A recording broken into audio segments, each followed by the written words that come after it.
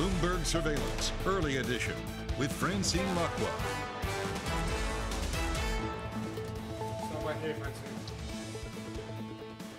Good morning, everyone, and welcome to Bloomberg Surveillance Early Edition. I'm Francine Lacqua in London.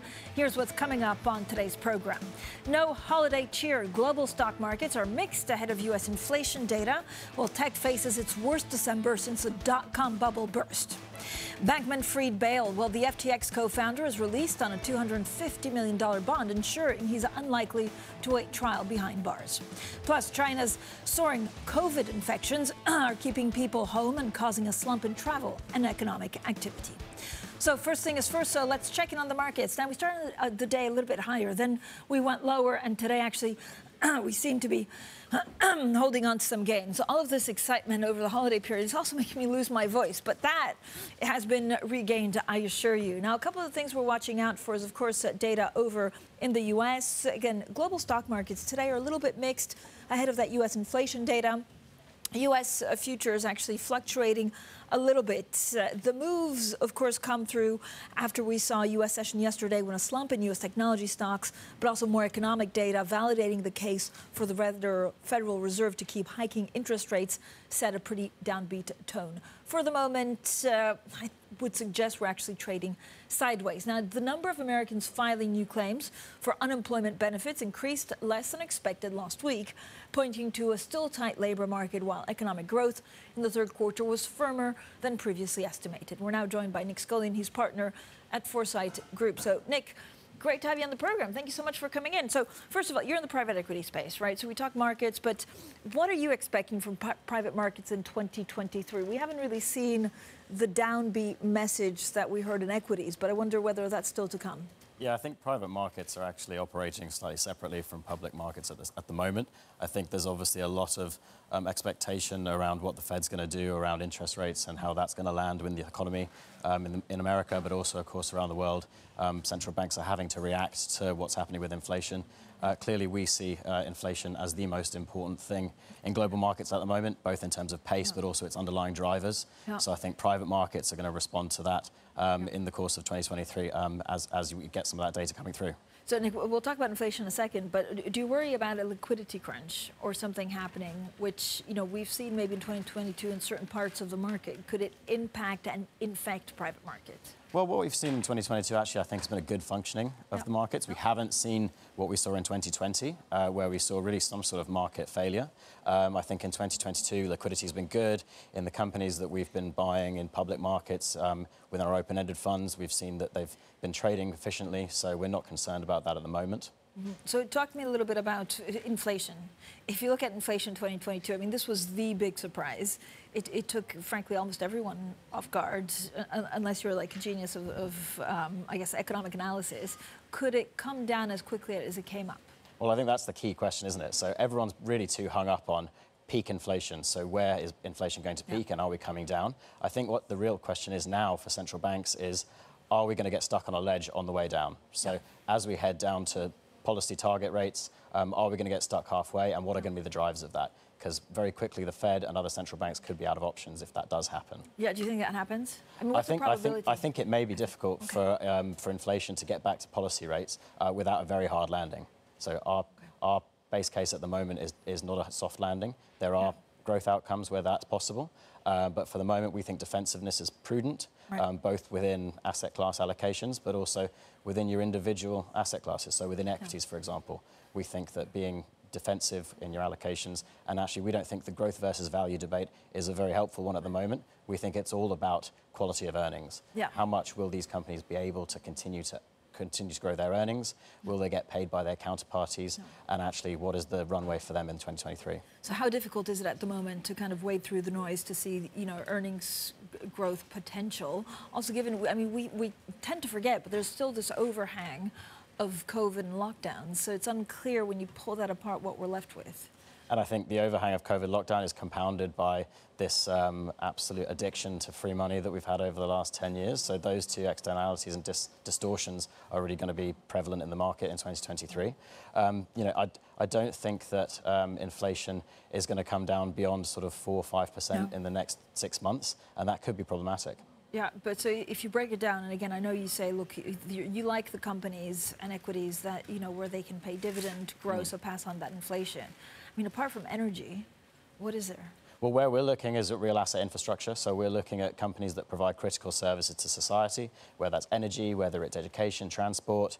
It's the kind of companies which are which enjoy long dated cash flows, government backing, um, they are the ones that have inflation linkage mechanically embedded within their multi-decade cash flows. Yeah. Um, those are the ones that I think will continue to be resilient in a yeah. very, in a very difficult environment in 2023. Nick, I mean, there, there's a school of thought, or certainly about, about, I would say, 20% of economists we speak to that say we could be surprised on the upside in terms of data, so in terms of inflation, maybe not as aggressive as, as we thought it, it could be.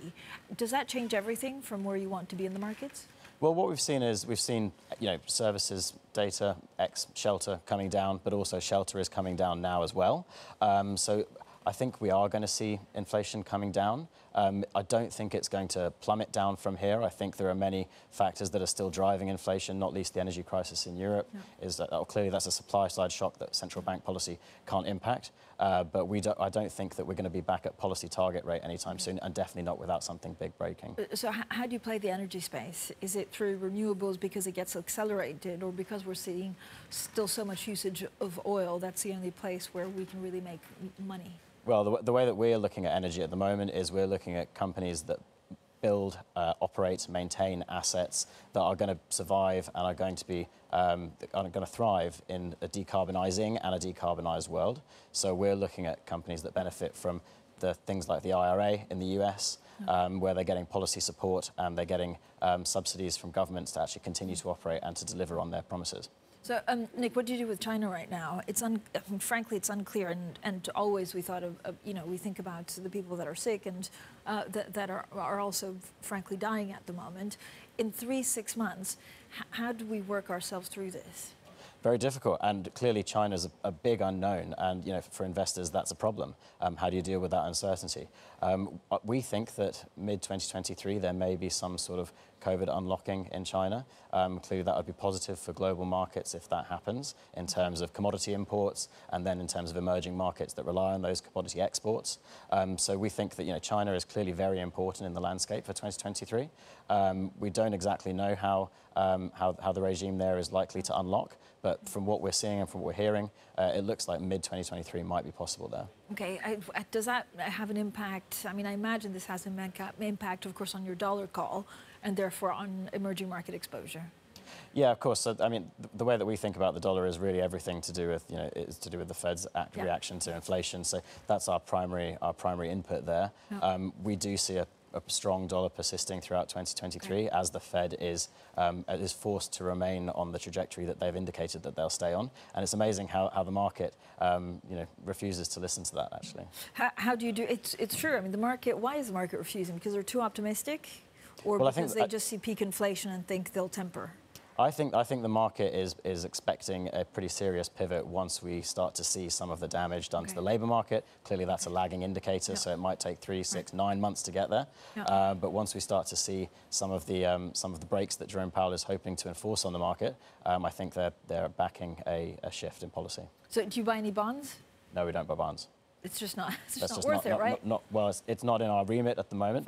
Um, so we're equity investors, and everything we buy is listed in public markets in our funds. Okay. Um, but clearly, you know, the attractiveness of bonds compared to where they were months and years ago yeah. um, is potentially pro problematic for equity investors as well, as allocators who can buy bonds and who want to buy bonds for the yeah. yield swing towards that asset class and away from equities, reducing overall demand. All right, Nick, thank you so much for coming on. Nick Scullion, their partner at Foresight Group. Now, coming up, FTX founder Sam Bankman Fried makes his first appearance at a U.S. court to face fraud charges over the collapse of FTX. The latest on that just ahead. This is Bloomberg.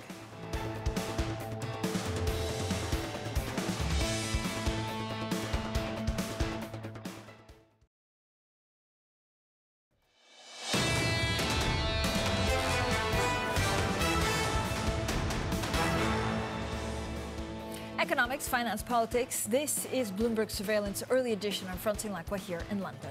Now, we are getting some moves. Tesla actually pre-market rising some 2% as Elon Musk has vowed to pause selling shares, I think, for 18 months.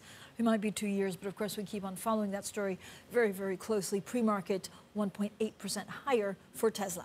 Now, Sam Bankman-Fried was released on a $250 million bail package after making his first U.S. court appearance to face fraud charges over the collapse of FTX, the cryptocurrency exchange he co-founded. Let's get straight to the latest on this from Bloomberg's crypto senior editor Anna Irrera. Anna, first of all, I mean, the first I read the story, I came in this morning and I thought, wow, that's a lot of money. Where's he getting the money from?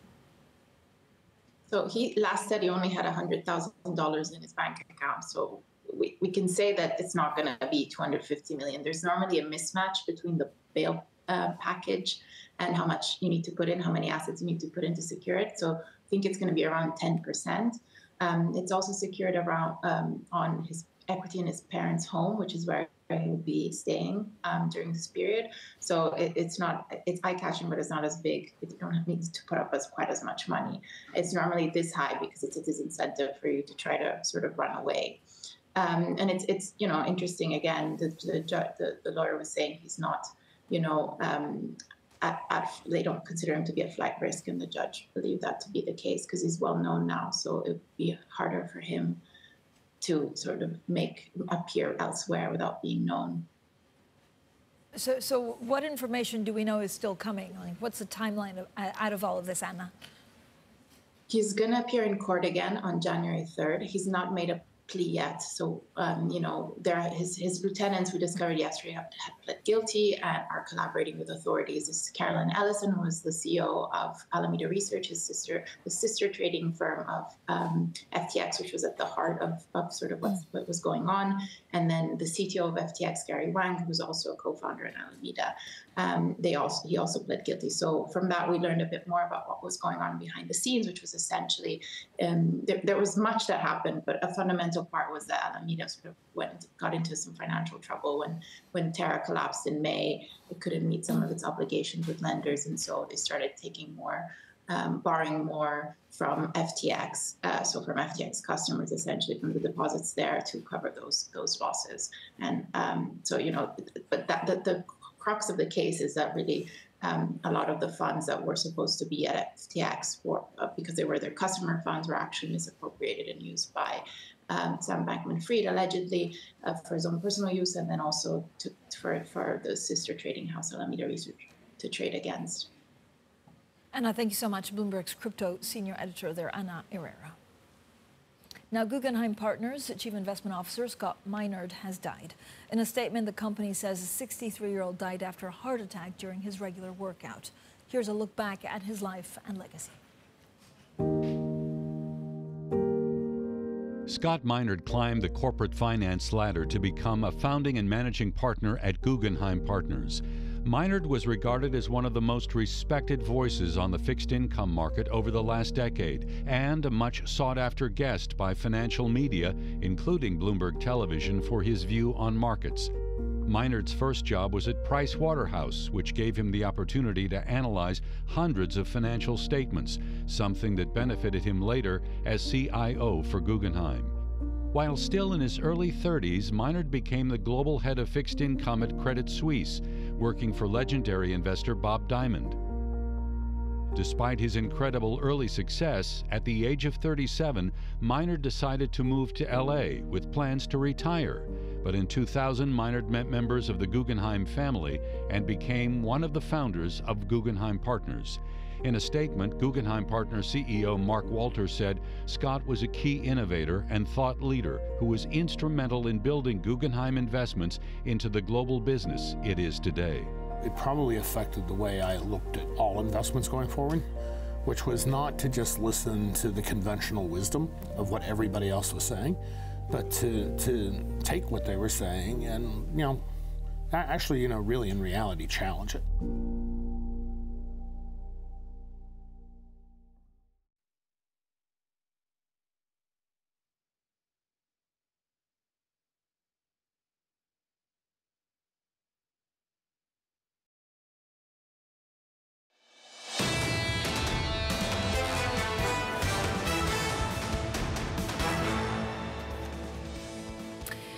Economics, finance, politics. This is Bloomberg Surveillance Early Edition. I'm Francine Lacqua here in London.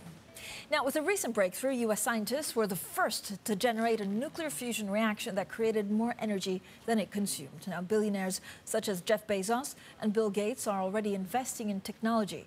We look at whether it's the answer to the world's clean energy needs and when it might be commercially available. Our Guy Johnson reports. After more than 50 years of failure, scientists have taken a major step closer to achieving near limitless clean energy.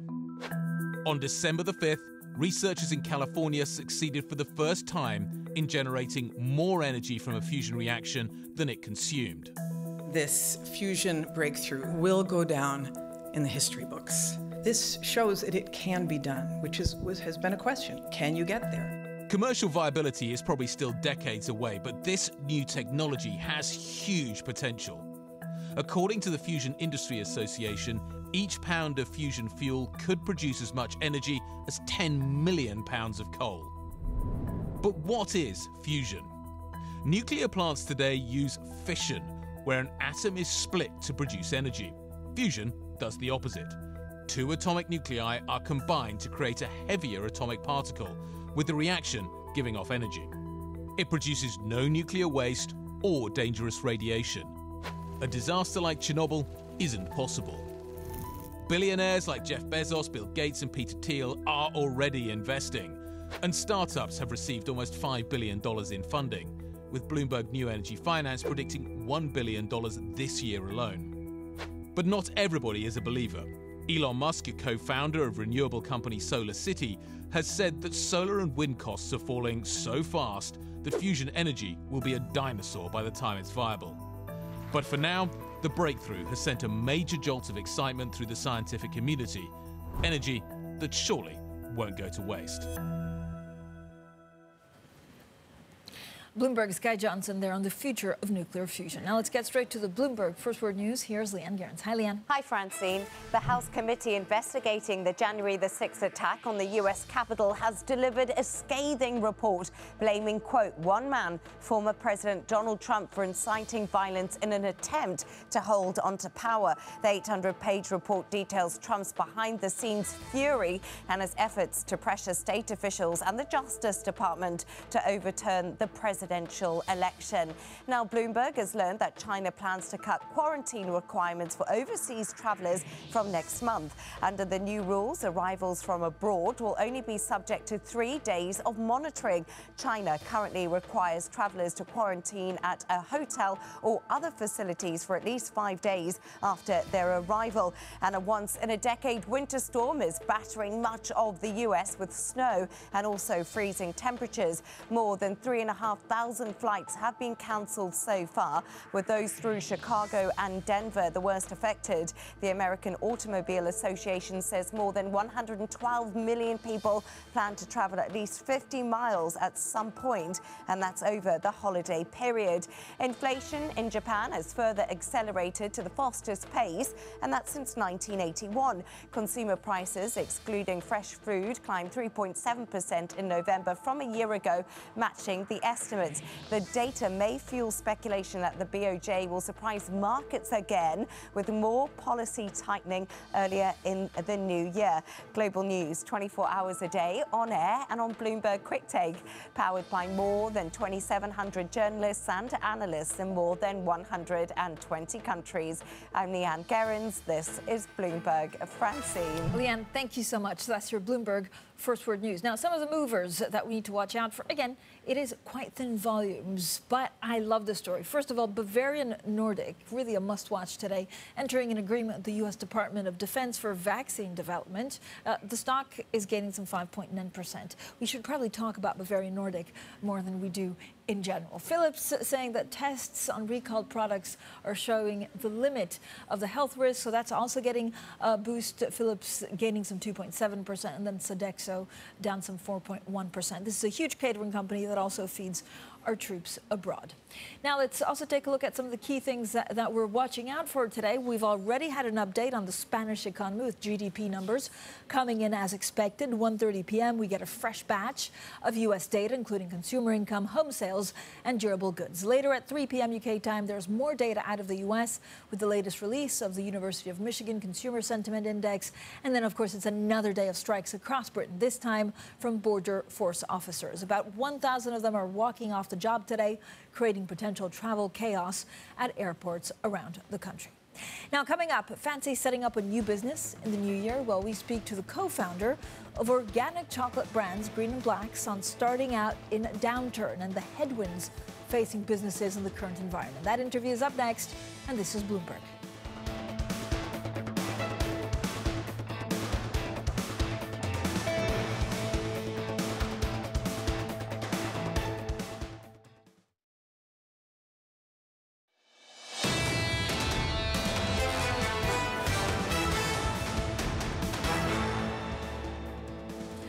Holiday cheer. Global stock markets are mixed ahead of U.S. inflation data. Tech faces its worst December since the dot com bubble burst. Bankman Fried bail, the FTX co founders, released on a $250 million bond with the stipulation to live with his parents as he awaits trial. Plus, China's soaring COVID infections are keeping people home and causing a slump in travel and economic activity. Well, good morning, everyone, and welcome to Bloomberg Surveillance Early Edition. I'm Francine Lacqua here in London. Now, despite the current economic climate, nearly one in three people in the UK have either started their own business or considered doing so in the last year. That's according to new research by accounting professional body AAT. It's something that the Green and Blacks co-founder is no stranger to, having set up the organic chocolate company during the early 90s economic downturn. Well, I'm very pleased to welcome Jo Fairley, co-founder of Green and Blacks. Jo, first of all, really congratulations on building this brand into one of the most recognizable chocolate names out there. What kind of advice would you give to entrepreneurs that want to do something, but actually the economic climate is very tough for them? I think that actually a tough economic climate is a really uh, great opportunity for startups because a lot of the big businesses are very nervous. They've got their finger on the pause button, waiting to see which way the wind blows. And actually, when you're a startup, you can just literally, you know, you've got your goal, you, you keep powering forward, and and you haven't got anything to compare the current trend to. So um, I see a lot of dynamism during recession times, while the big guys are kind of twiddling their thumbs and going, "Oh, let's see how this pans out." So, um, Jo, when you look at uh, you know everything that's going on at the moment, is green and black actually recession-proof? Is chocolate in general recession-proof, or do you have the same kind of inflationary pressures as other markets do? I think the great thing about chocolate is that it is a fairly low uh, price treat. And actually, at, at, times of recession, we want to have those treats probably more than ever. A small treat as opposed to, you know, a big piece of clothing or something. So I think that chocolate is probably recession proof. But I do see that there is a strong trend towards the kind of chocolate that we pioneered and that we still make today, which is ethical, sustainable, you know, during the pandemic, people had a lot of time to think about what where they wanted to spend their money. And I think that that is only going to continue because we are going to be spending less. We are going to be thinking more about what we spend it on. And I think that notwithstanding a cost of living crisis, we still want to make sure that our money is is spent um, in a good way, you know, with heart. Uh, uh, Jo, does that change in a downturn? I mean, I'm not saying it changes, but actually, you know, your high premium um, top end chocolate brand, will people still buy a chocolate brand that's you know fairer and better for society but more expensive if the recession hits? We're just over two quid. I don't think that's expensive. I, there's a lot of chocolate out there for eight or twelve pounds now. That's actually the same size and the same, um, the same uh, cocoa content as ours, but doesn't have the sustainable credentials and, and is just, you know, much, much more expensive. So I think we're in kind of, if you'll pardon the pun, a sweet spot. But, you know, I really do encourage um, would be business owners not to buy into the doom and gloom that is out there right now. You know, as you said, AAT's study showed that one in three people want to start their own business. And there's actually um, they they've backed a brilliant website called informe.co.uk that actually has a an ebook on there that people can download for free about how to start your business in 20 days. Now, you know, we're going to have a few days off for Christmas, but if you were to restart on the 27th of December, you know, by the middle of January, you could you could probably have something that was pretty much yeah. You know, ready to get running. And that, I find that so exciting. Yeah. No, it is an and it's an amazing brand. I like to say, you know, you say it's two quid, but actually, I mean, I buy larger packs, so I've, I've never paid two quid. That's like if you don't like chocolate, Jo. This is maybe you know the problem, the, my problem anyway. Um, when you see some of the inflationary pressures, what do you worry about the most in 2023? Is it the price of cocoa? Is it transport? Is it packaging?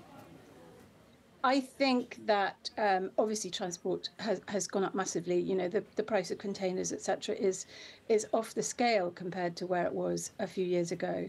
And you know, for smaller brands, that probably means um, prioritizing certain markets over others because it can be more expensive to ship less stuff.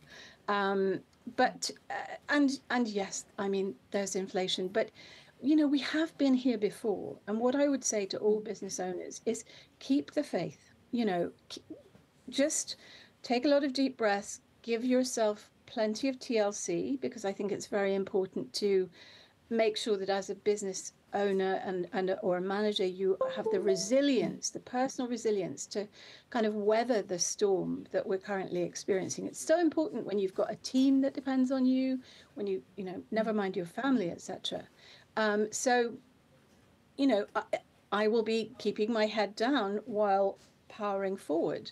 And I think the great thing about having a business that's been around for a few decades is, is you know, what goes around comes around, and, and there will be an end to this. But as I say, you know, for those would-be startups, it I think it's a time of great opportunity. Yeah.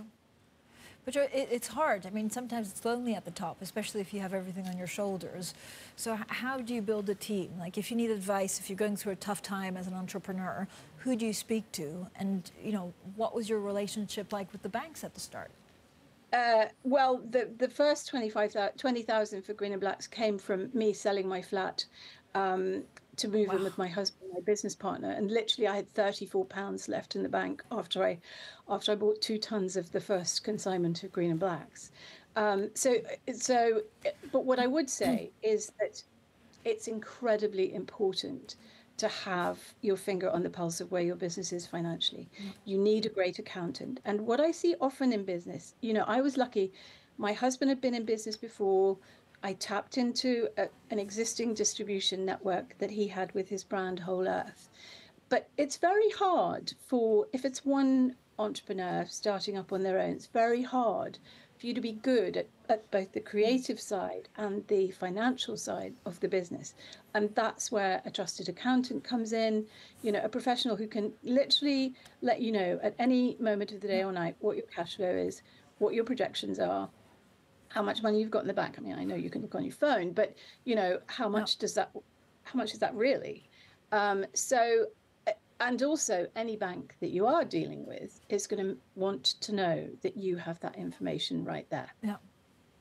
So, Jo, I mean, one of the other things I hear quite a lot from entrepreneurs or actually, you know, venture capitalists wanting to invest is that there's a concern in Europe and in the UK that very good companies then don't become big quickly enough. And so there's, you know, the, the first mover advantage if you have a brilliant idea is squandered compared to some of the US. Do we need to be more like US companies? Like what's is there a UK advantage?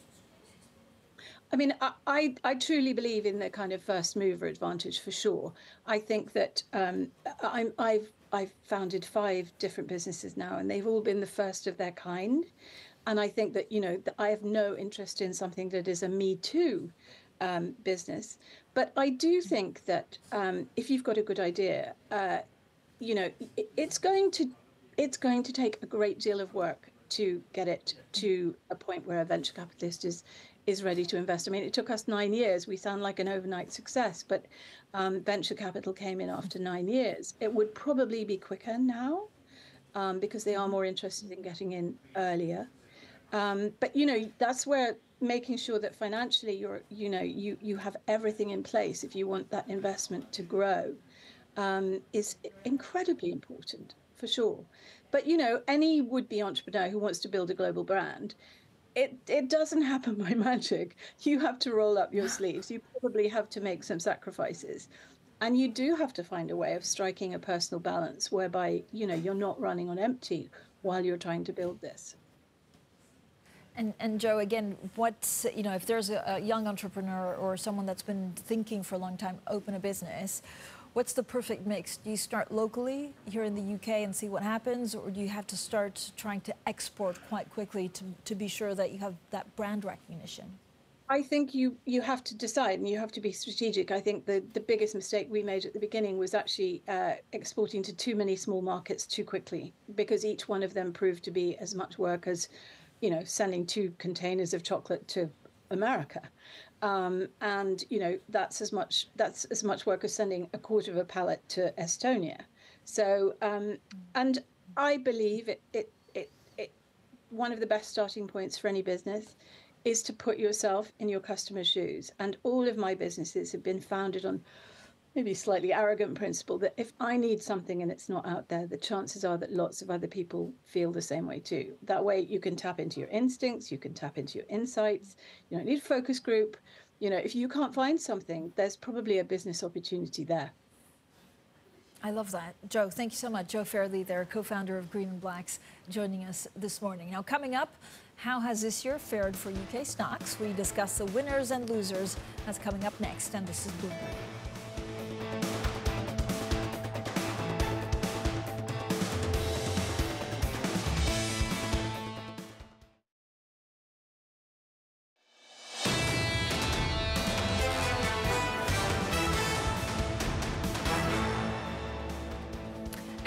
Finance, politics. This is Bloomberg Surveillance Early Edition. I'm Francine Lacqua here in London. Now, UK stocks have had a wild ride this year, but some have fared better than others. To tell us who sunk and who swam, we're joined by our stocks reporter, Joe Easton. So, Joe, clearly been a tough year for UK stock markets broadly. Which are some of the individual worst performers that stand out to you? That's right. So a lot of these companies are really exposed to the high interest rates. They've got big debt loads and they've struggled to keep up those financing measures throughout this year. So some of the stocks we've got on the screen here, we're looking at Wetherspoons is a good example. Not only do they have quite a big debt load, but they're also facing this squeeze on both demand and also margins. The cost of keeping beer cold, cooking, that's all coming up given the energy price increase. They've been hit quite severely. Moonpig, look, birthday cards are pretty recession proof, but the gifting business is not so recession proof. People do tend to trade down when you go into recession, buy cheaper gifts. They've also been hit by a strike as well. That might explain why I've had so few Christmas cards this year. Maybe not, though.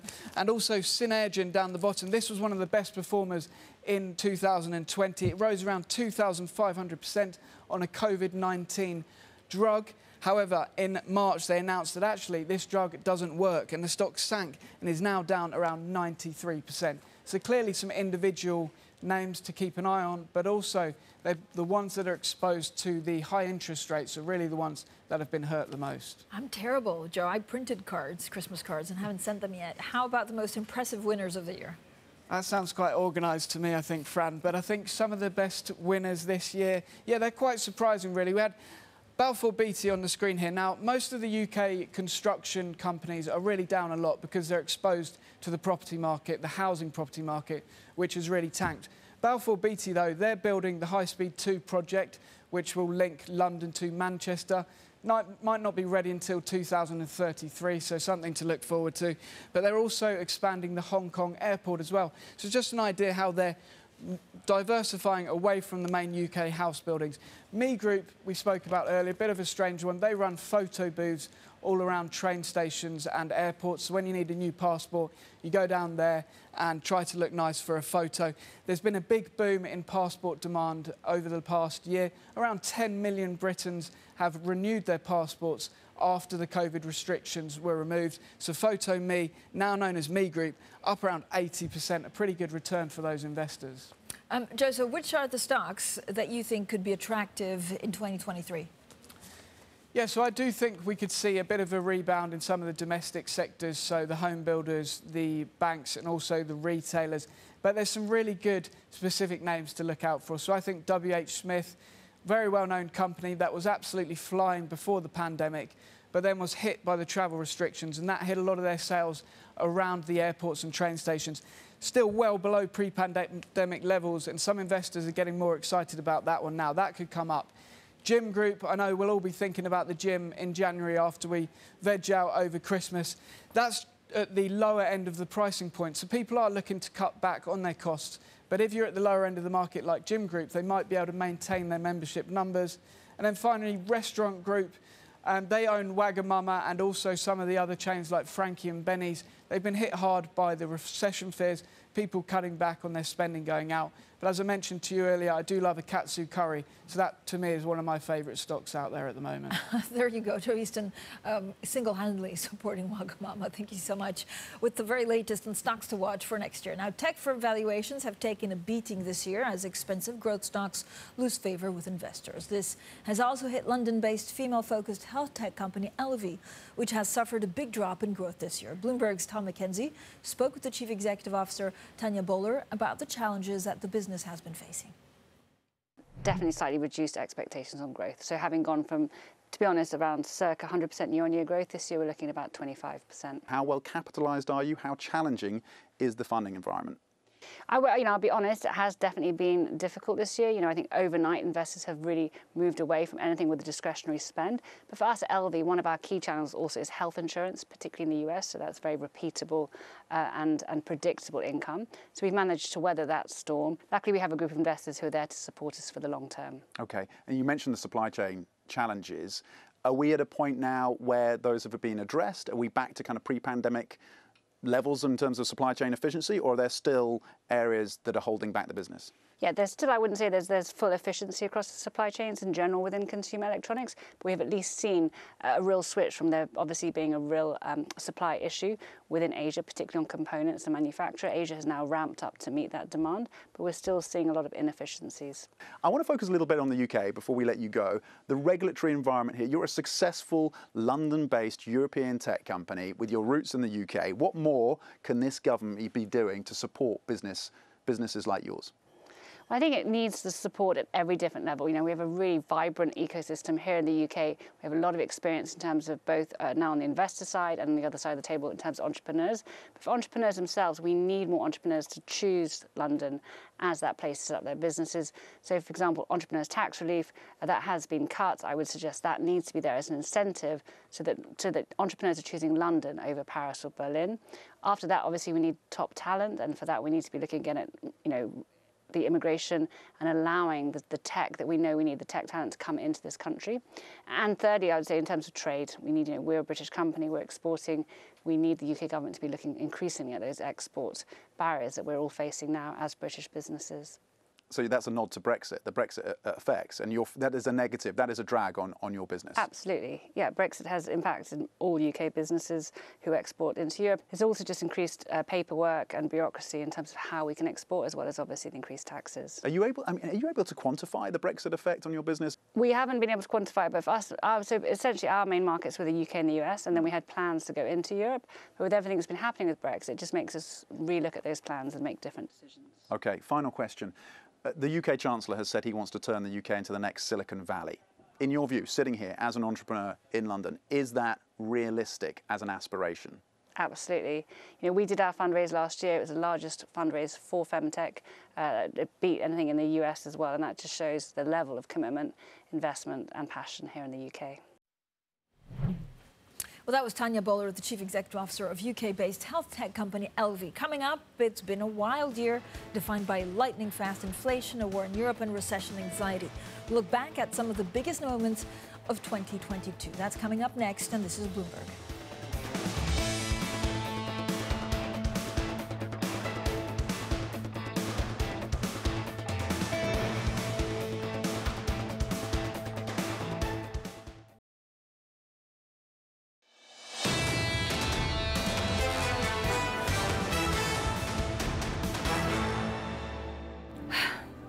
So 2022 was quite the year. Here's Bloomberg's two minute roundup.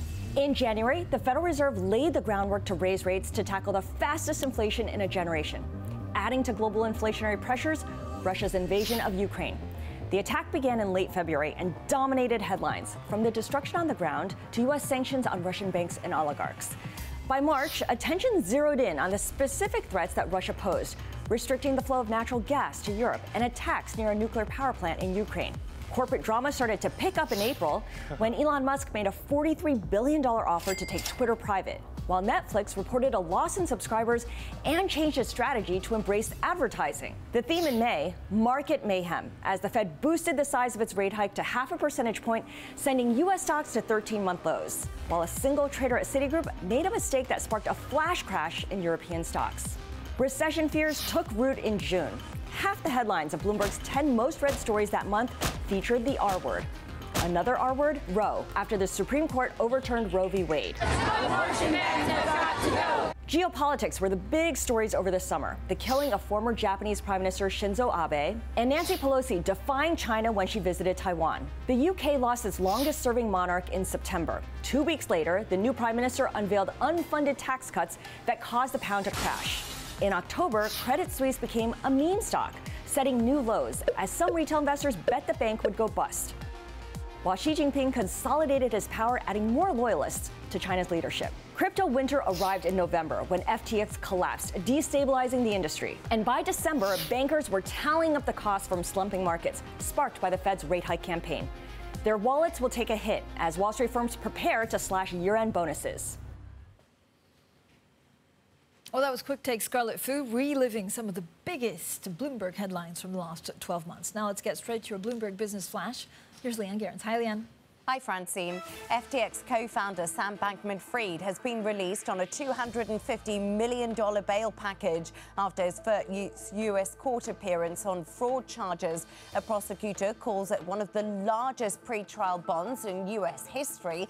The package includes a personal bond secured by his parents' house in California, where he is required to stay. His next court appearance is scheduled for January the 3rd.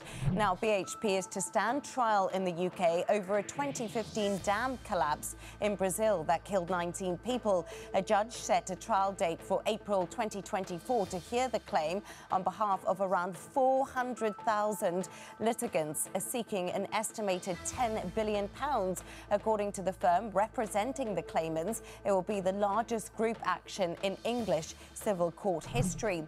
Elon Musk says he's not planning to sell any Tesla shares for at least 18 months. Speaking on Twitter Spaces, Musk also said he favors a share buyback once the company is more confident in the direction of the economy. The Tesla CEO has offloaded almost $40 billion worth of stock this year. Now, that was mostly to fund his purchase of Twitter. And that's your Bloomberg Business Flash. Francine. Leigh-Ann, thank you so much. Uh, Bloomberg Surveillance Early Edition continues in the next hour. Matt Miller in New York, Ed Ludlow is here in London, and this is Bloomberg.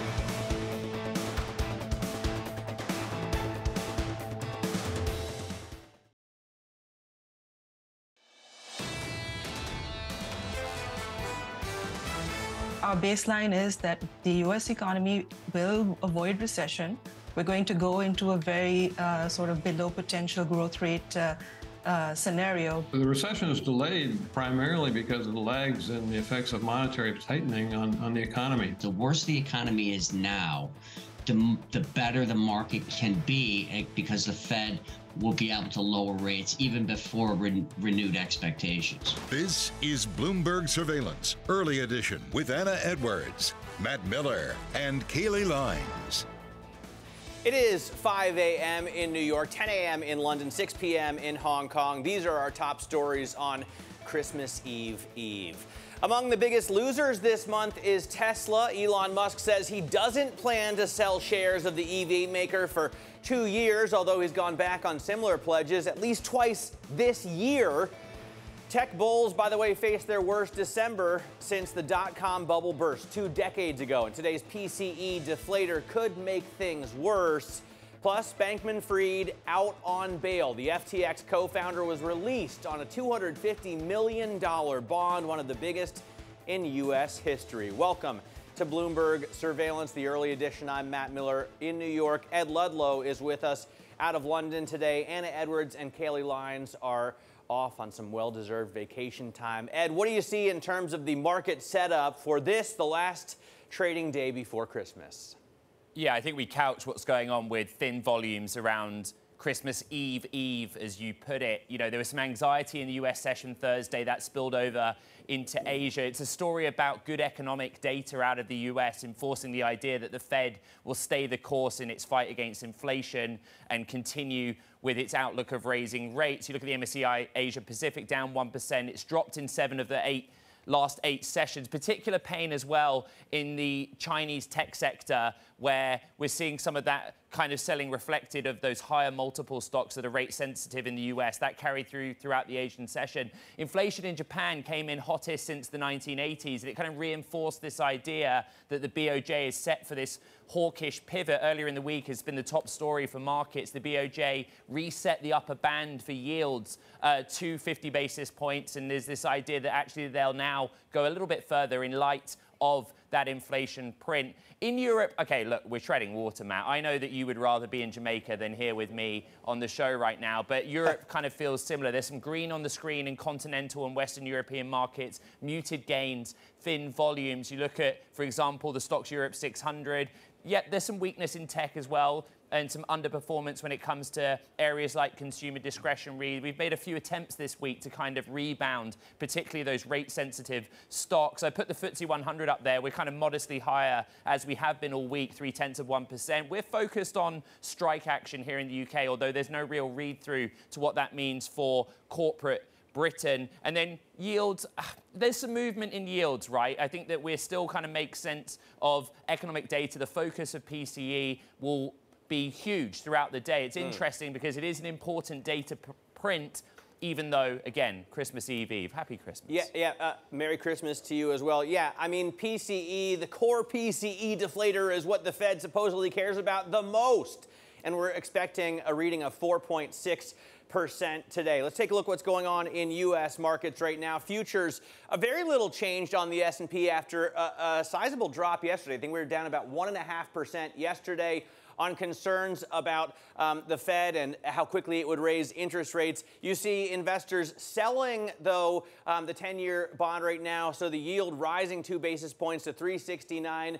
86, getting back up there uh, a little bit. And NYMEX crude also continues to climb. Right now, 79.15. So really about the same level as we were 24 hours ago. When we looked at this, Ed, yesterday, we were just under $80 a barrel for WTI. But there are more questions about the reopening in China. Does that drive crude prices higher, or are the COVID infections so bad that the demand just really isn't going to be there? Um, that's a debate, I think, in the market right now. And then Bitcoin, um, you know, I'm, maybe I'll stop showing this in the new year if it continues to hold at this level. Um, there doesn't seem to be any movement in Bitcoin outside of uh, the FTX story. Not a lot of drama in the OG crypto world. And of course, we're going to talk about the FTX story, but Bitcoin really uh, is a separate issue. Global stocks Stocks saw their biggest weekly outflow on record this week. That's according to Barclays strategist Emmanuel Cau. Bloomberg's Valerie Tytel has the numbers and the reasons for us. Valerie?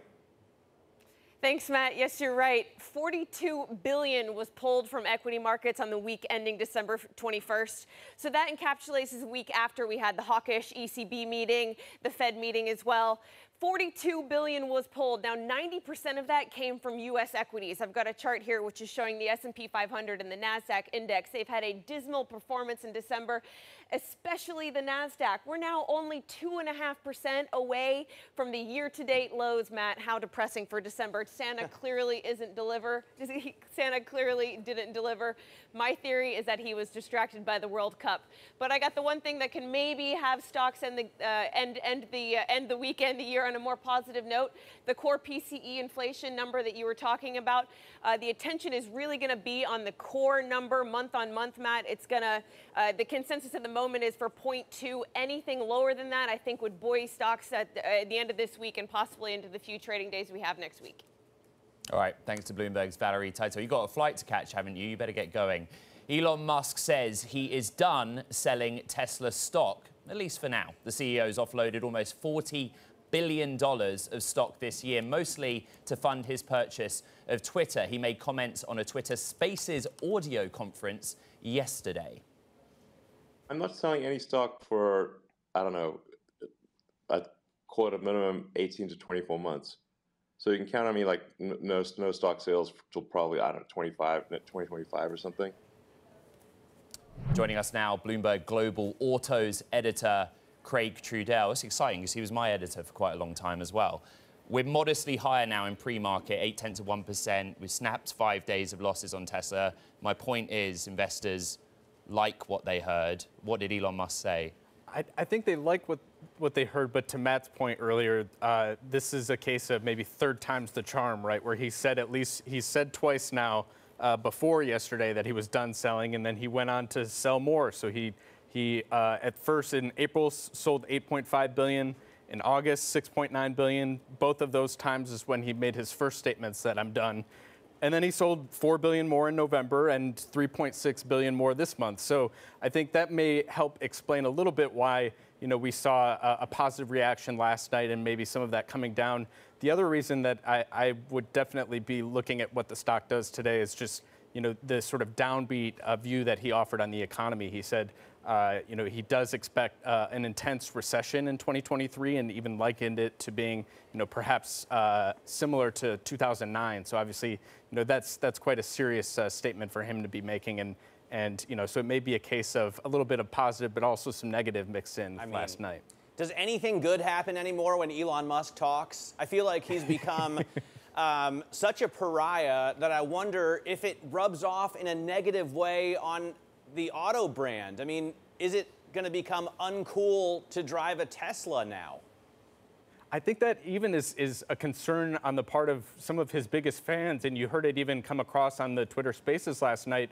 There was one of his, his big fans referred to the idea that uh, he had a daughter who is trans and was was really concerned about you know his uh, you know jokey tweets about pronouns. We've also just you know seen this more than just anecdotal. We've seen this come across in consumer surveys and, and attempts to really get uh, you know arms around you know what this is doing to the Tesla brand. And you know before all of uh, the events of the last few months, you know this was the case where you know Elon was was cited as a reason that people uh, you know didn't have have particularly fond feelings about the brand. So he can both be their their you know biggest uh, you know proponent.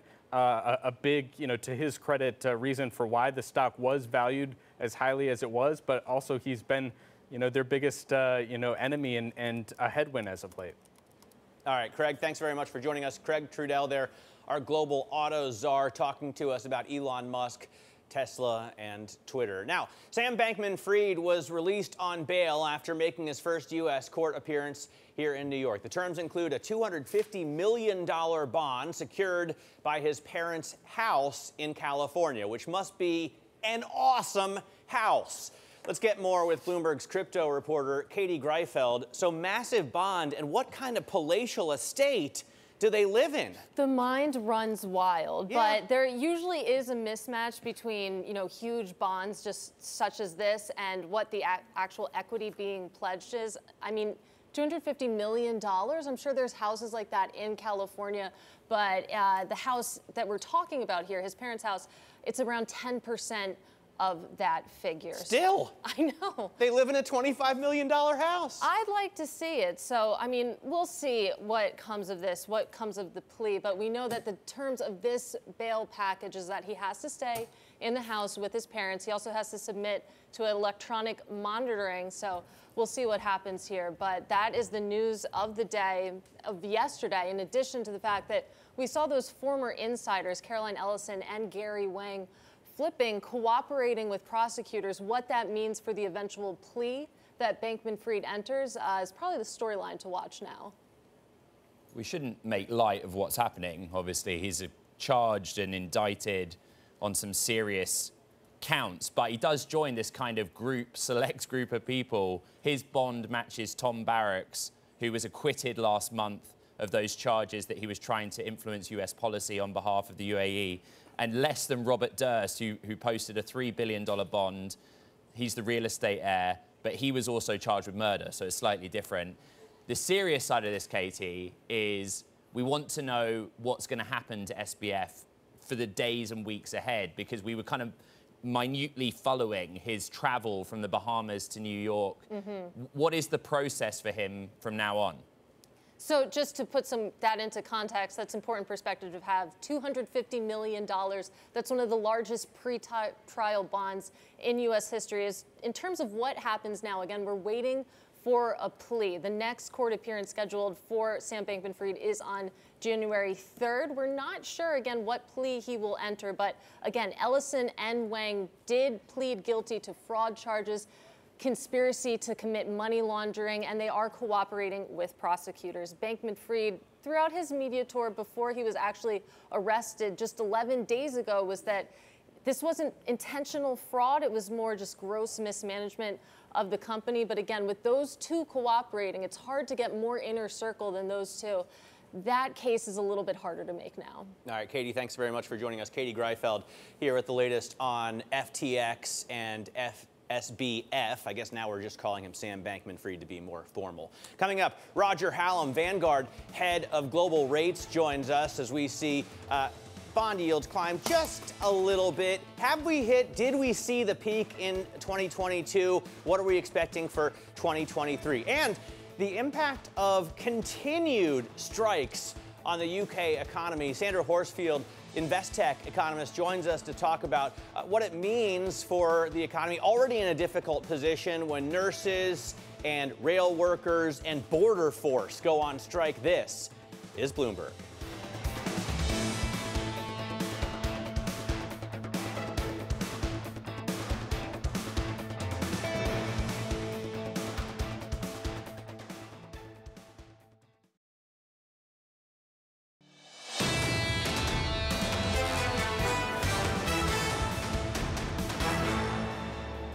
This is Bloomberg Surveillance Early Edition. I'm Ed Ludlow in London. My mate Matt Miller over in New York. China's soaring COVID infections are keeping people home and causing a slump in travel and economic activity. The COVID wave has heaped even more misery on the global economy, which, according to Bloomberg Economics, is set to experience one of its worst years in three decades. Joining us now, Jamie Rush, Chief European Economist for Bloomberg Economics. Jamie, you've got the enviable job of telling us what happens to the global economy in 2023. Take it away. No, it's hard enough watching that that little that little clip on 2022. It feels absolutely exhausting, doesn't it? But I right. think the so what are we what are we looking at? China, absolutely right that on the the impact of of the uh, the unlocking on Chinese activity and the spread of the virus. It's just a reminder that the spread of the virus clearly has a big impact as well as COVID restrictions do. But I think uh, for China at least, we're expecting that growth is going to pick up pretty fast over 2023, up to 5% next year instead of more like 3 this year. And largely that's driven by COVID restrictions being lifted. But I think the if you look at the rest of the world though, we are going to be slowing down fast. You know, the, the monetary policy tightening that we saw in 2022 we're going to be seeing the impact of that in 2023. And that explains why we're, we're expecting the global economy to, to post really, really weak growth, weaker since 1993 if you exclude some of the crisis years. Jamie, what does that mean for rates after, uh, you know, the worst year for rates, I guess, on record we're going to be looking at? What can we expect next year? Well, I think so. We're looking at inflation being pretty sticky globally. Um, and that's one of the things that we learned through the course of the year was that it's not just the US experiencing a demand-led inflationary shock. We also have some underlying stickiness in the UK and in the Eurozone. And, so that's why we've seen the Bank of England and the ECB pivot and dash to catch up with the Fed. Um, our view is that we're going to be looking at something like 5% for the Fed, 4%-ish for the UK, uh, and about 3% for the ECB. But if I have to pick one where the uncertainty is greatest, I think it is the European Central Bank because we just do not have the clarity on what's going on in the labour market, how how much wage pressure is being generated there, uh, and so there's there's risk that there could be a pivot in either direction. Are there any tailwinds for 2023, Jamie? Any? I mean, we've we've got these dour and depressing. Uh, Merry Christmas, Happy New Year commercials, and, and then your forecast. I heard on the radio this morning, and I thought, God, is anything going to go right next year? Um, well, so uh, we're seeing we're, we're, seeing a much faster rollback of restrictions in China than was expected. So, if anything, perhaps the risks to the to that side of our forecast is the upside. Um, other possibility is that somehow we just, you know, how wrong were we about inflation in 2022? Well, we could be wrong about it in 23, but the other direction. And if we get that, if we see commodity prices falling back, if we see that the defrosting of supply chains allows for, for price pressure to drop much faster than people anticipate, then maybe we end up in a world where the Fed has to cut next year and the very different outlook for the global economy. Jamie, I think, you know, we, it's the Friday before Christmas, and I'm not even sure who's on the other end of the camera, you know, listening to this broadcast from a markets participant perspective. But top of mind, I suppose, Friday is PCE. In Europe, I, I saw some commentary from Louis de Guindos this week on sort of mm. the messaging around 50 basis points. My question is, how much room is there for surprise from global central banks, really? Because I feel like I say the same, I report the same messaging from central banks each week, each quarter. We've not really gone off course despite concerns from the market. Yeah, I think the Fed's been pretty clear, and even if they get a downside surprise to their PCE forecast, which is looking pretty likely, um, they, they know what, what path they're on. Um, for the ECB, we're actually expecting a pretty big undershoot, both of the ECB's forecast and of consensus uh, when the inflation pub- uh, figures are published for December. Um, and so that could actually tilt the balance in favour of, uh, of, of, of, at least signalling that there's going to be a, a decrease in the pace of tightening right. over the coming months. So I think the ECB has a chance that things will actually change quite a bit in the first quarter. Jamie, quickly, what are you hoping for this Christmas? Oh, just a bit of peace and quiet would be nice, thanks, Ed. Ah.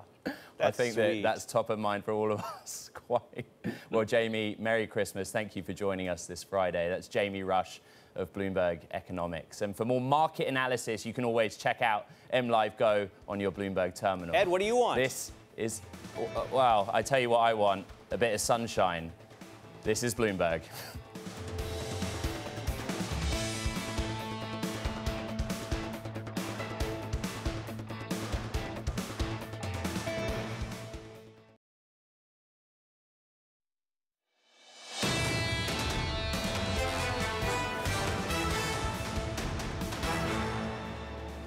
Bloomberg Surveillance Early Edition. I'm Ed Ludlow in London with Matt Miller in New York. Now, keeping you up to date with news from around the world, here's the first word. The House committee investigating the January 6th attack on the US Capitol has delivered a scathing report blaming, quote, one man, former President Donald Trump, for inciting violence in an attempt to hold on to power. The 800 page report details Trump's behind the scenes fury and his efforts to pressure state officials and the Justice Department to overturn the presidential election. In China, soaring COVID infections are causing a drop in travel and economic activity. The latest high frequency data shows less traffic congestion in major cities, fewer flights, and fewer people taking the subway. Following the abrupt end to COVID zero controls, more cities have infections, leading to crowded hospitals and queues at funeral parlors. China's plans to cut quarantine requirements for overseas travelers from next month. Inflation in Japan has further accelerated to the fastest pace since 1981.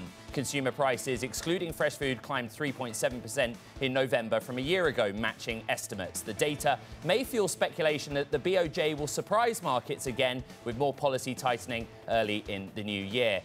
And a monstrous once in a decade winter storm is battering much of the central US with snow and frigid temperatures. Thousands of flights are cancelled, with those through Chicago and Denver worst affected. The American Automobile Association says more than 112 million people plan to travel at least 80 kilometres at some point through the holiday period.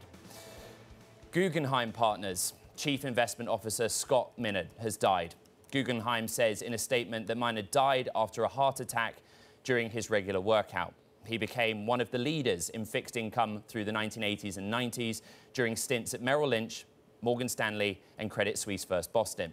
Scott Minerd was 63.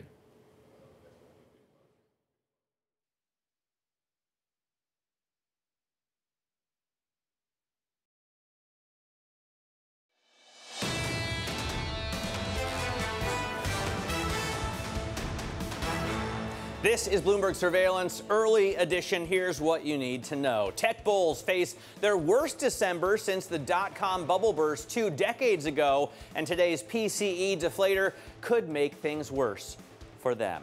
Among the biggest losers, the other biggest losers this month is Tesla. Elon Musk says he doesn't plan to sell shares of the EV maker for two years, although he's gone back on that uh, pledge at least twice already this year. And Sam Bankman Fried is out on bail. The FTX co founder was released on a $250 million bond, one of the biggest in U.S. history, although it's backed by a modest house in Palo Alto. I'm Matt Miller in New York with Ed Ludlow in London. Anna Edwards and Kailey Leinz are off today. And Ed, as you would expect, we're experiencing extremely light volume uh, today. It's the day before the day before Christmas, so uh, anyone in his or her right mind is off work today.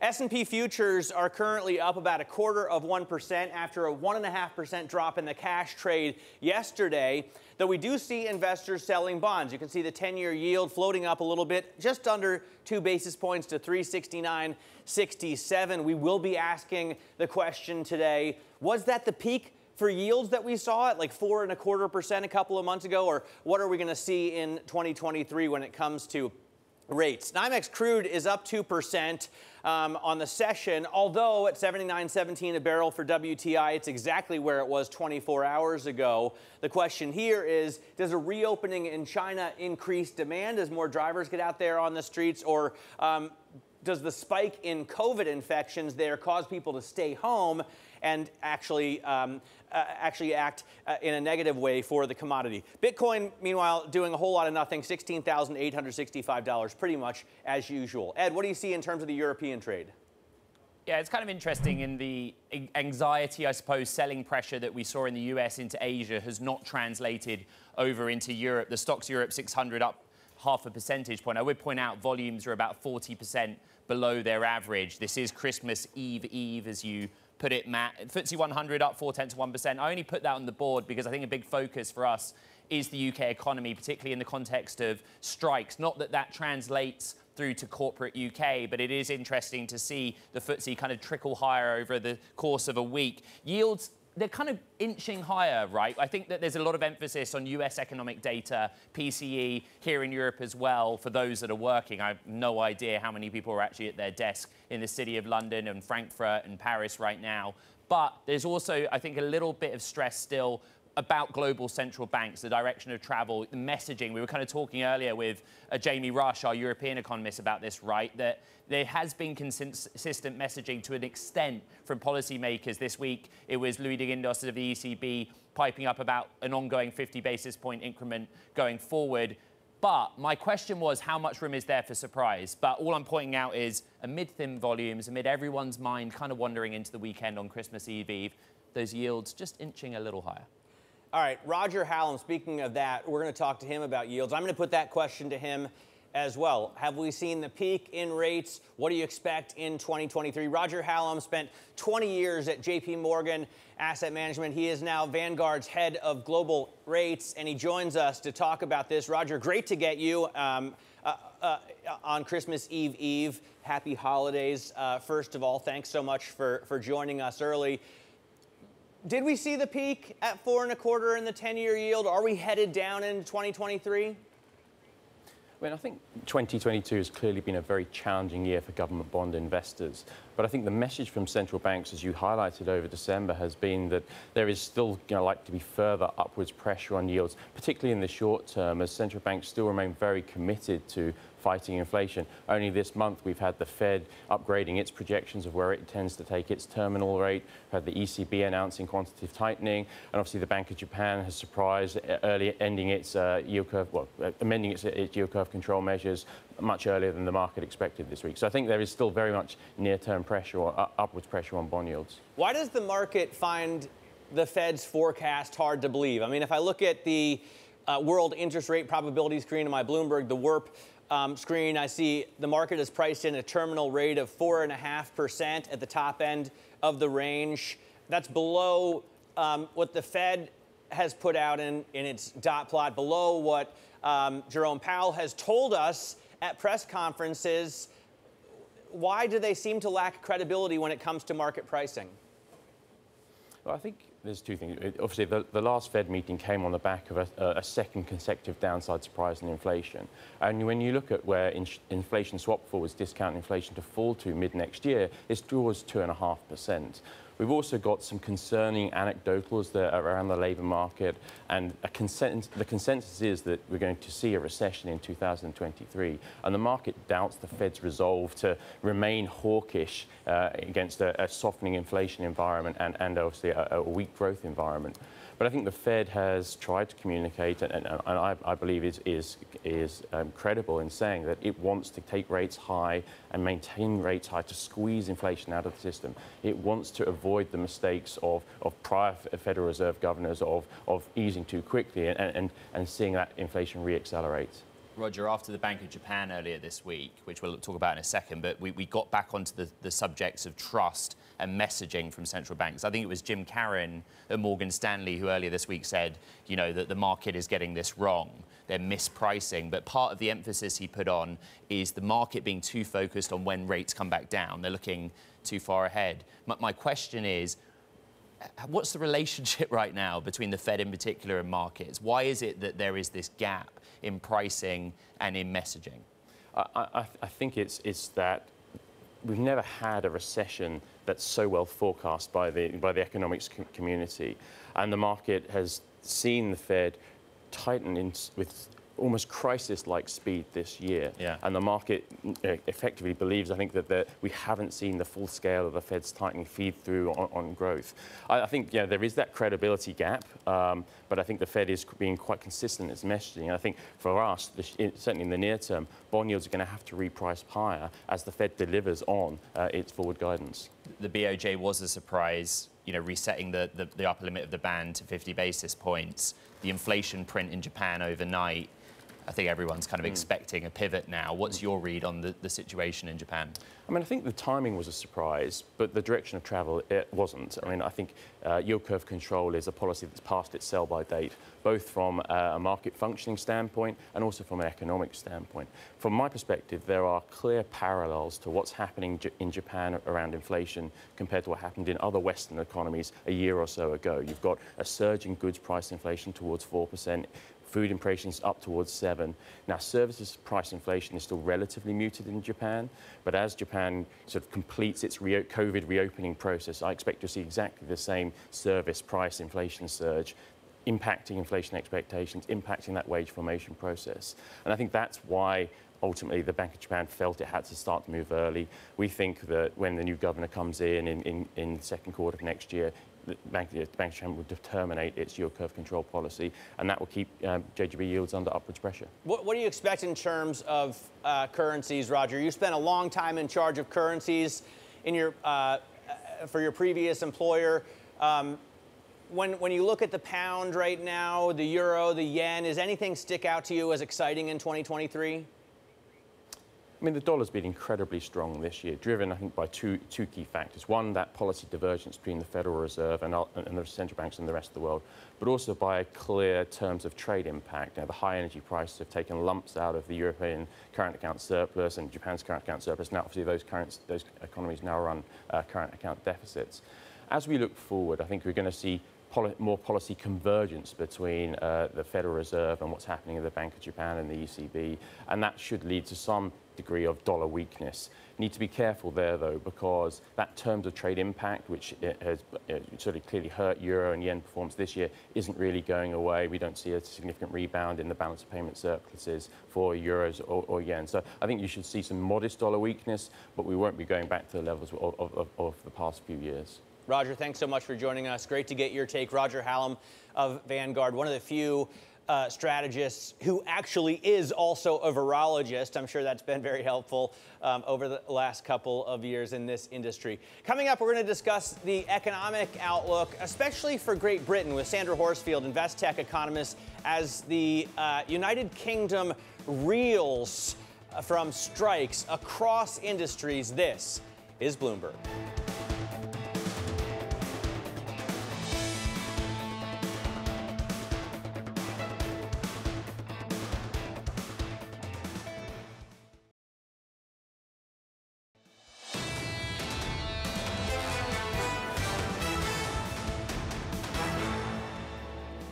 Bloomberg Surveillance Early Edition. I'm Ed Ludlow in London with Matt Miller, who's over in New York. Now, today is the first day of UK border strikes at airports in London over an ongoing disagreement on pay. Joining us right now, Bloomberg's Eamon Farhat, who, by the way, was at Heathrow earlier this morning, where workers have started their eight-day walkout, which stretches through to New Year's Eve. What's happening on the ground there in Heathrow?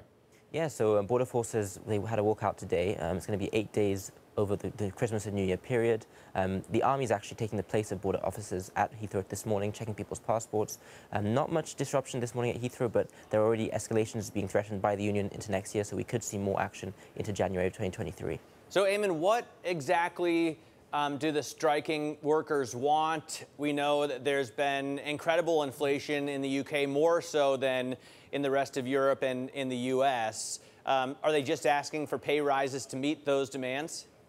Yeah, they're definitely asking for a pay rise. You know, the cost of living is hitting everyone very hard. You know, the, the, people I was talking to today, these, these border workers, they're really feeling the effect. You know, they see people going every day on holiday, these happy families, and they're saying they can't afford to bring their family maybe once every five years, if that. They also can't afford their mortgages, their bills, they have to sell their houses, go live further away. So it's really hitting their pocket, and they just want to get a pay rise, and they want to go straight to the government to get that. All right, Bloomberg's Eamon Farhat. Eamon, thank you very much for your on-the-ground reporting and also for getting back to the office so quickly for your report. Joining us now is Sandra Horsfield, an Investec economist. We've got to talk about the read-through, I suppose, between the strike action, which we've just put on the screen, you know, the, the breadth of it, but also where we are at the end of the year with the UK economy. I've actually never really appreciated or understood this, that, you know, there's data that came out last week about the depression in restaurant sales, for example, in that one-week period uh, due to a lack of being able to travel in and out of London, for example. But when you, you, you sort of take a step back, does strike action have a long-term impact on the economy, on growth? The impact of strike action is twofold. One, the, the direct effects, of course. Uh, ambulance workers that aren't driving an ambulance aren't producing the output they would do. Uh, Royal Mail, similarly.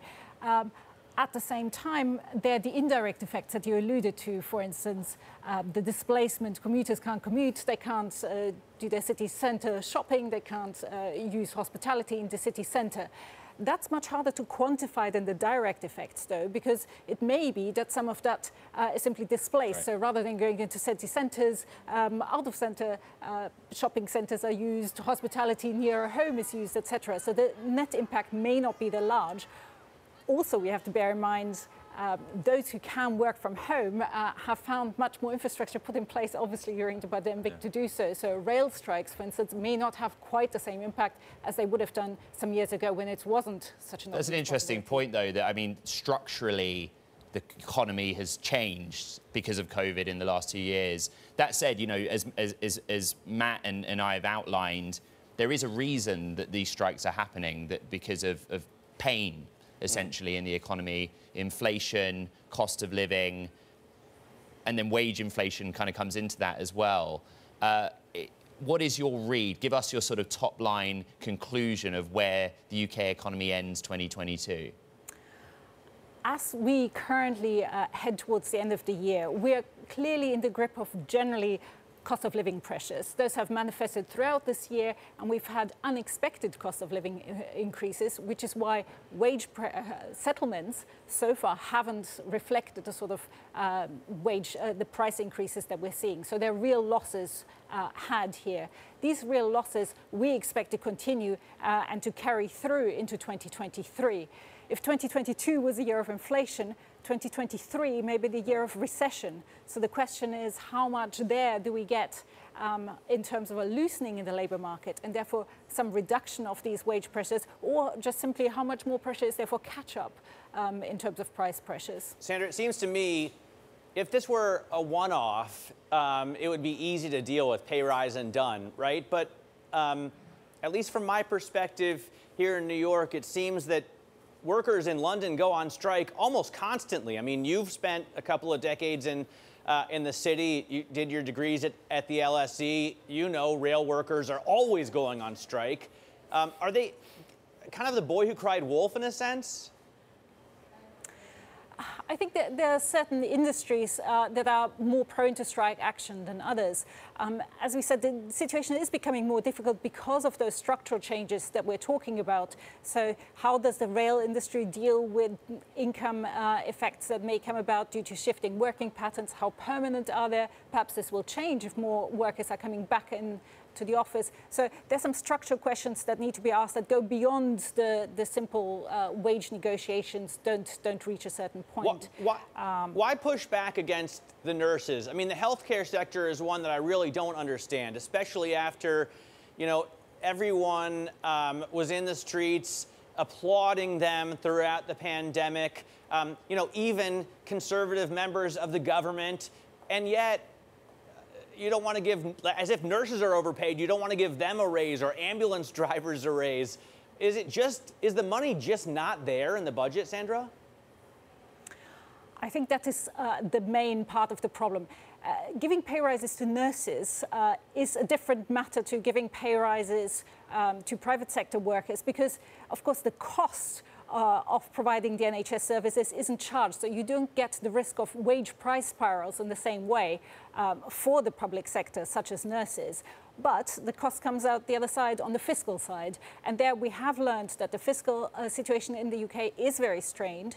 Um, and uh, awarding large uh, pay rises that are costly uh, could spook markets yet again, saying, well, how are you going to fund this? Uh, is it going to be yet more borrowing? We obviously know that markets have been very sensitive to that in the UK, given what happened in the aftermath of the Truss Kwarteng mini budget. Um, and so that's an extra consideration specific to the UK to take into account. Got it. All right, mini budget is a phrase I think has been etched into our minds forever.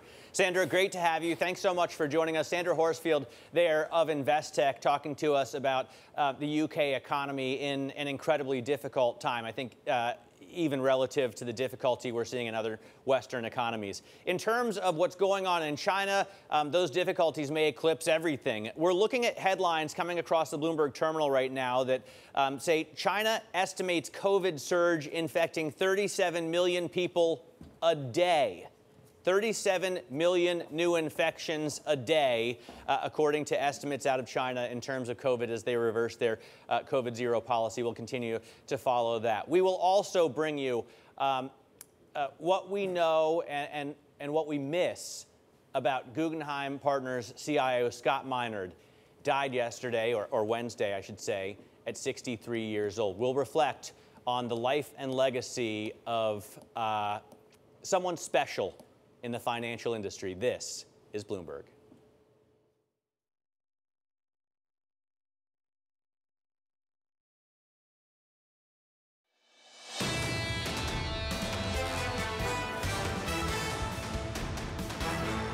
This is Bloomberg Surveillance Early Edition. I'm Matt Miller in New York with Ed Ludlow in London. Now, Scott Minerd, who was regarded as one of the kings of the bond market during its four decade bull run, has died. He was only 63 years old. Bloomberg Sonali Basak has spoken with Minerd and reported on him over the years, and she joins us now here in studio. Really sad announcement, I think, for anyone who worked closely uh, with Scott. He was admired um, for his acumen, but also you know, people just liked him. Yeah, I've covered him for 10 years, and I think what's remarkable about him is that through good times and bad, good years, bad years, tough times within Guggenheim, he was always not only professional, but always had a, a really respectful demeanor about him. I also miss you know, he would just call me randomly sometimes if he changed his mind about the way he saw the markets. He was so passionate about the job. I would just hear from him on a whim when he was ready to make any given pivot. I think 2020 was one of those most more notable new years, right? Because you had him warning about COVID back in February before the world shut down.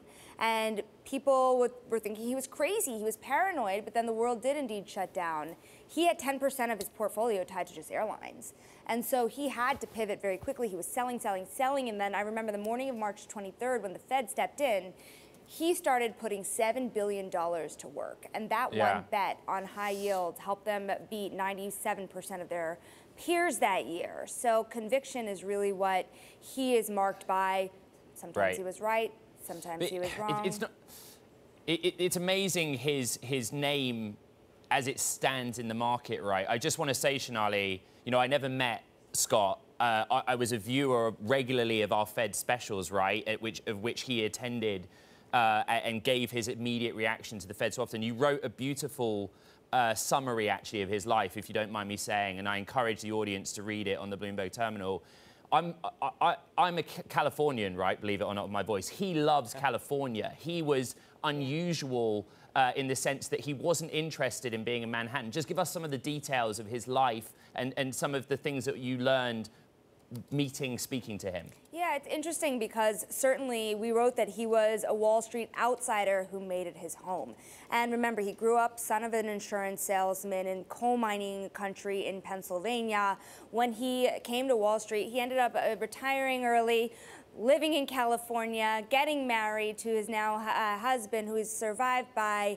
And I've got to say, whenever I followed Scott around, he had the strangest group of people around him all the time, this very eclectic crowd, not the typical Wall Street crowd. I'm talking about one day I'm with him and, and Sylvester Stallone is calling him for insurance advice. Or, for hmm. example, he was very close to Kerry Kennedy, and the Ripple of Hope dinner every year was one of his favorite events and, uh, and Arnold Schwarzenegger, of course, as well. They shared a love of bodybuilding.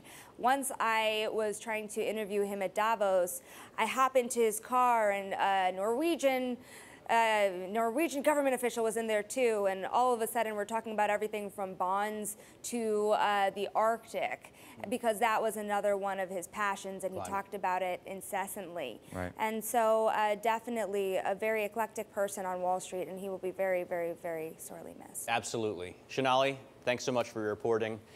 Scott Minerd was only 63.